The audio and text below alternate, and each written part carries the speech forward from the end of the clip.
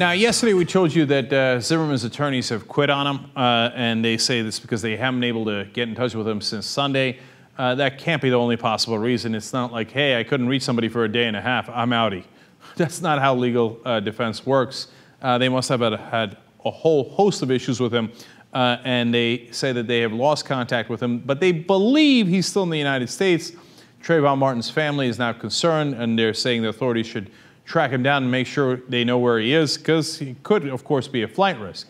But uh, one of the main problems the lawyers had was that he wouldn't cooperate with them, and instead he started calling the prosecutor, which then the prosecutor uh, couldn't take that call without legal counsel, so they couldn't even have that conversation. And here's the really interesting part he called Sean Hannity of Fox News.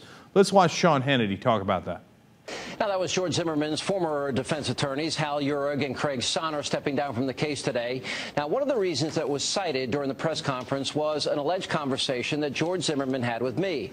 Now, before we continue tonight, I want to set the record straight about a couple of things. Now, for a few weeks, we have been pursuing an interview with Mr. Zimmerman to give him a chance to tell his side of the story.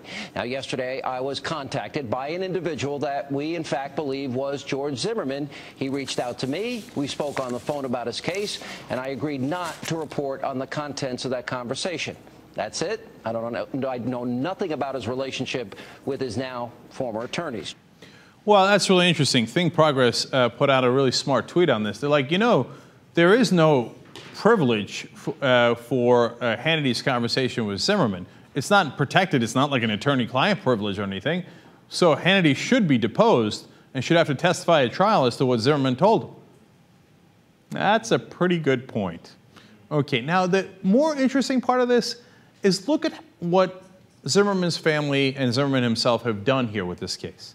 Apparently, they have lost faith to some degree in their ability to win the legal case. They're not even communicating with their lawyers anymore. But they have decided that they can win this on a political level. And so where do they go? They go to Fox News, they go to Sean Hannity.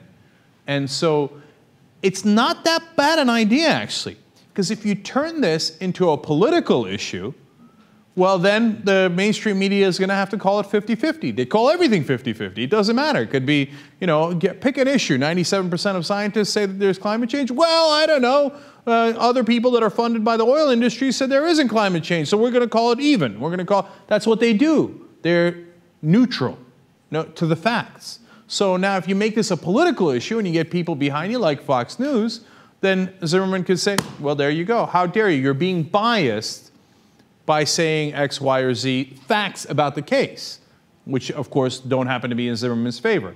It's a fascinating way of trying to win over the court of public opinion, or at least neutralize the people who are against you by actually, because they're presenting evidence, and you don't have the evidence.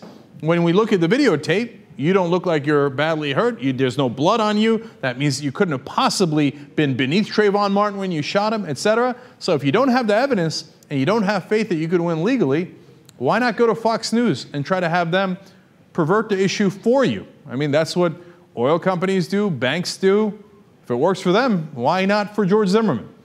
And it might not be that, uh, not that bad an idea.